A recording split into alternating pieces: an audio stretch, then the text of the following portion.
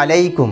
হে আমার প্রিয় বন্ধু মহোদয়, আজ আপনারা এমন একটি ভিডিও দেখতে চলেছেন যা প্রতিটা মুসলমানের ইমান আরও তরতাজা করবে। ভিডিওটি অতি অবশ্যই শেষ পর্যন্ত দেখবেন, অনেক কিছু দেখার আছে। এ পর্যন্ত আপনারা সোশ্যাল মিডিয়াতে অনেক ভিডিও দেখেছেন যে হিন্দু ইসলামকে নিয়ে ভালো ভালো কথা বলছে। কিন্তু আজ যে ভিডিওটি আপনাদের মাঝে নিয়ে এসেছি, একটি হিন্দু বোন যিনি নিজের জীবনটা পবিত্র কোরআন হেফাজত করে কাটিয়ে দিচ্ছেন। এই হিন্দু বোনটির নাম রাজ শ্রী সনি তিনি ছত্রিশপুরে থাকেন। এই বোনটির কাছে তার পিতার কাছ থেকে পাওয়া অনেক আগের ছোট্ট একটি কোরআন শরীফ রয়েছে। সেই কোরআন শরীফটি দেড় ইঞ্চি। সেই কোরআন শরীফটি খুবই ক্ষুদ্র ক্ষুদ্র অক্ষরে লেখা, যা আমাদের খালি চোখে পড়া সম্ভব নয়। ওই কোরআন শরীফটি পড়তে গেলে লেন্স দিয়ে দেখে পড়তে হয়।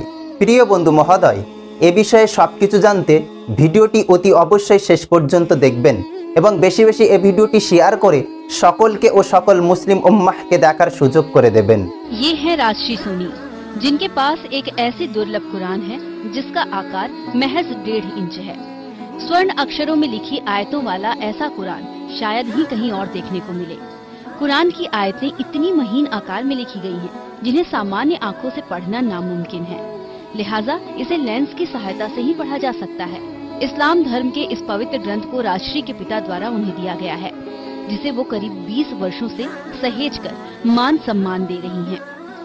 पिताजी के दोस्त ने उन्हें गिफ्ट उपहार के तौर पर दी थी और ये कहा था कि इसको पवित्रता के साथ इसका इसकी देखभाल करना। कुरान बहुत छोटी सी पुस्तक है लेकिन इसमें सारी चीज़ें मौजूद हैं जो एक कुरान में होती हैं।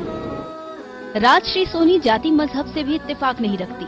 उनका मानना है कि भगवान को मानने के रास्ते भले ही अलग हों मगर ईश्वर तक पहुँचने के रास्ते पर सौहार्द और भाईचारे से ही पहुँचा जा सकता है।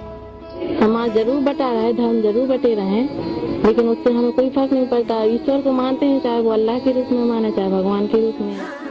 एक तरफ़ जहाँ मज़हब के नाम पर दीवारें खड़ी हो रही हैं, तो वहीं हिंदू होते हुए भी इस्लाम धर्म के पवित्र ग्रंथ को सहेज कर रखने वाली राजश्री सोनी ने सांप्रदायिक सौहार्द की एक अनूठी मिसाल कायम की है। ईटीवी न्यूज़ के लिए छतरपुर से सुनील उपाध्याय की